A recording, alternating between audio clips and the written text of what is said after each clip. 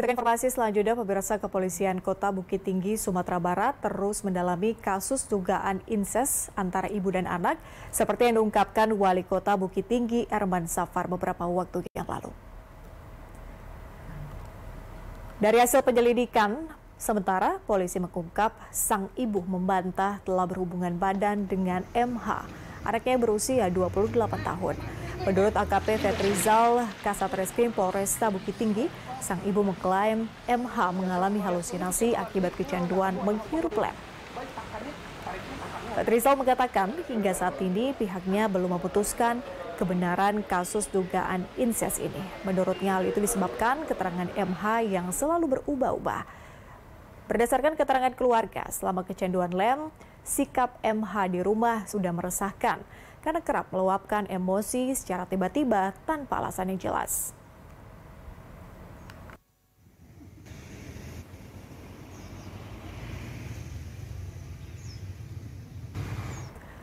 Untuk mengetahui lebih lanjut terkait kasus ini, kita sudah bergabung langsung dengan Kasat Reskrim Polres Bukit Tinggi AKP Fetrizal. Pak Kasat, terima kasih sudah bergabung bersama dengan kami. Jadi dari mana Pak informasi awal sehingga kasus inses ini kemudian mencuat?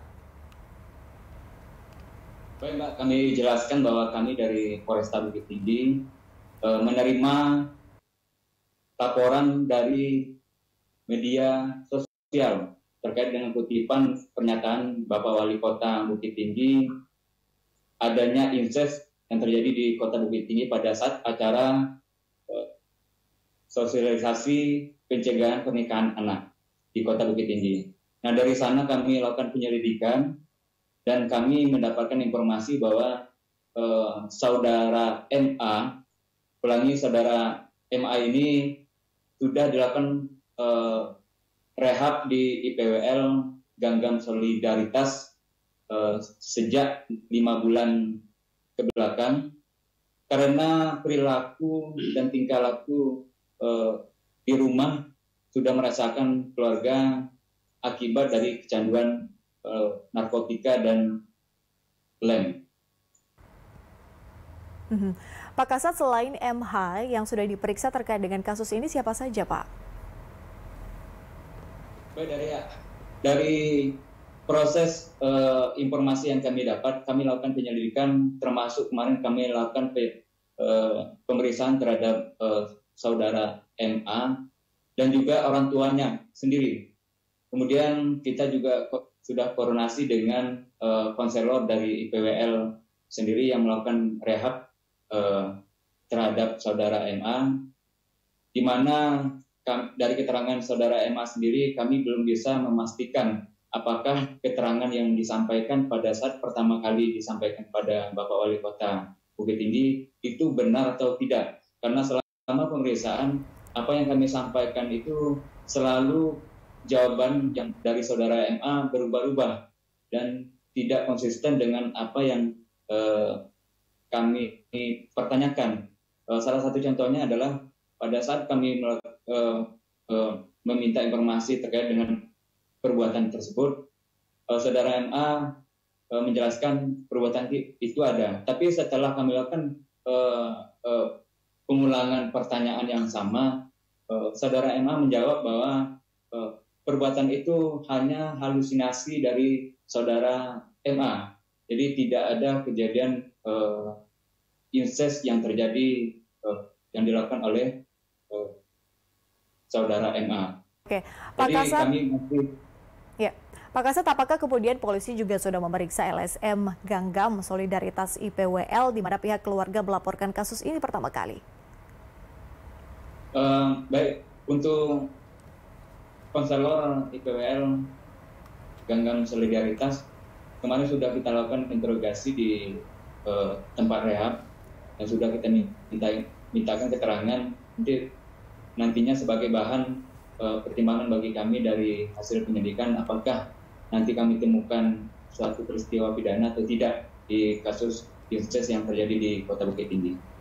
Hmm. Pak Kasat, uh, setelah memeriksa beberapa pihak terkait dengan kasus ini, langkah apa yang akan diambil atau dilakukan kepolisian terkait dengan kasus-kasus seperti ini? Baik, terkait, terkait dengan uh, kejadian viralnya incest yang terjadi di Kota Bukit uh, tadi sudah kami sampaikan bahwa kami sudah melakukan penyelidikan. Jadi uh, perbuatan yang dilakukan oleh saudara NA menurut laporan laporan pertama kali kami terima itu perbuatannya dilakukan pada uh, saat uh, saudara NA sekolah SMA. Jadi dapat kita kategorikan bahwa saudara NA pada saat itu berada di uh, posisi anak di bawah umur, di bawah 18 tahun. Makanya kami dari Polres Bukit Tinggi melakukan penyelidikan terkait dengan kejadian uh, di waktu saudara MA berada di posisi sebagai anak di bawah umur. Jadi kami melakukan penyelidikan ini uh, terkait kejadian 10 sampai 11 tahun ke belakang. Ini hmm. menjadi tantangan uh, kesulitan kami juga dari penyidik mengungkap uh, kejadian yang terjadi antara 10 sampai 11 tahun terhadap uh, orang tuanya se Baik. sebagai laporan ya. Baik, penyelidikan terus dilakukan. Terima kasih Kasat Reskrim Polres Bukit Tinggi AKP Fetrizal sudah bergabung bersama kami di Berita Satu Sore. Kami tunggu kabar selanjutnya, Pak. Salam sehat. Baik pemirsa, sebelumnya warga Bukit Tinggi, Sumatera Barat dibuat resah dengan kabar dugaan adanya kasus hubungan seksual antara ibu dan juga anak kandung yang dilontarkan Wali Kota Bukit Tinggi Ermat Safar. Pemuda yang mengaku berhubungan badan dengan ibunya itu kini dikarantina di sebuah pusat rehabilitasi sosial.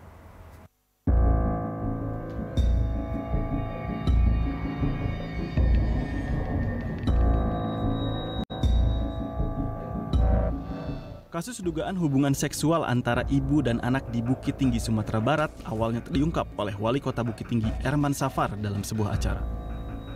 Menurut sang wali kota, perbuatan keduanya bahkan dilakukan selama 10 tahun terakhir. Dinas sosial setempat sedang menangani kasus ini dengan melakukan rehabilitasi sosial kepada pemuda tersebut. Pemuda itu sebenarnya harus direhabilitasi karena kecanduan lem. Kepada para konselor, pelaku mengaku berhubungan intim dengan ibunya sejak masih duduk di bangku SMA. Saat melakukan perbuatan tersebut, pelaku dalam pengaruh zat adiktif dari lem yang dikonsumsinya.